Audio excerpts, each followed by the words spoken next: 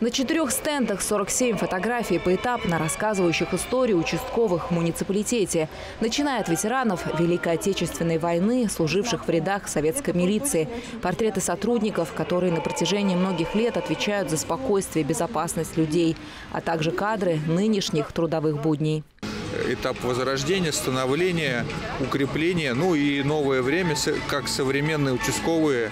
Э, в чем разница, как было, как есть и как будет в дальнейшем. Как отметил председатель Совета ветеранов ОМВД России по Ленинскому городскому округу Алексей Чутчев, символично, что сквер «Юность» расположен рядом с домом, где находился первый пункт полиции. Строительство Ковского завода началось в 1949 году. В общем-то, и здесь появилась милиция как таковая.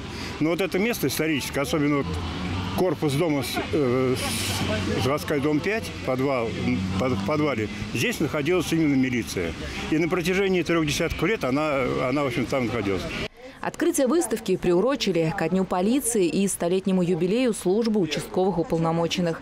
Экспозиция – совместный проект УМВД России по Ленинскому городскому округу и историко-культурного отдела Дворца культуры «Видное».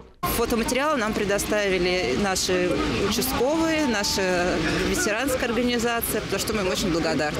Мы им предложили такую идею, они с удовольствием откликнулись, поэтому получилась такая выставка. В службе участковых уполномоченных муниципалитета трудятся более 40 человек. В разных уголках округа, а для удобства жителей функционирует более 10 пунктов полиции. Участковый – это тот, кто всегда на виду, тот, кто всегда на посту тот, кто всегда с нашими жителями, да, в центре событий, и кто, тот, кто может всегда прийти на помощь. И нам очень приятно, что сегодня здесь мы представляем экспозицию о, ну, наверное, мы осветили э, как бы основные моменты или фрагменты э, участковой службы в нашем Ленинском районе, а сейчас Ленинском городском округе. Познакомиться с экспозицией может любой желающий. Выставка «Участковый всегда на посту» в сквере «Юность» будет работать до 19 декабря. Наталья Буслаева, Кирилл Иванов, Ольга Садовская, Видное ТВ.